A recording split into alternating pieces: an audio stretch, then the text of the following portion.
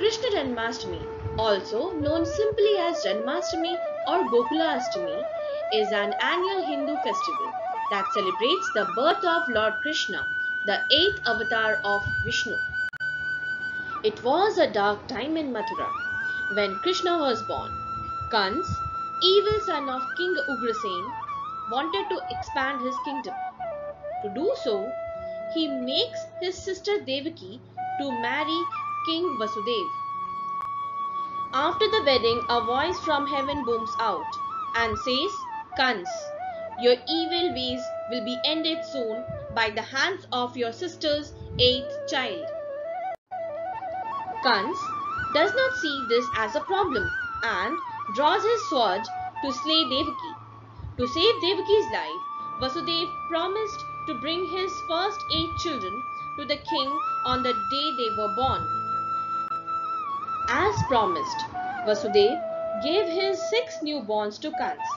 But when Devaki gets pregnant for the seventh time through divine intervention, her child is transferred to the womb of Rohini, who was the first wife of Vasudev.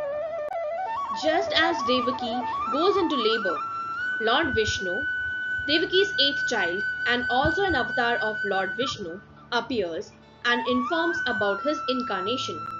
With a bolt of lightning, Lord Vishnu destroys the locks and put the guards on sleep. He gives Vasudev precise instructions of next step. Vasudev leaves the palace carrying his son in a basket to cross river Yamuna and exchange his baby with Gokul's head Nand.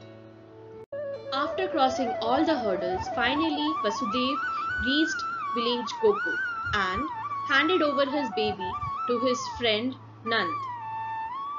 This day marks good over evil and is observed as Janmashtami where people celebrate birth of Lord Krishna.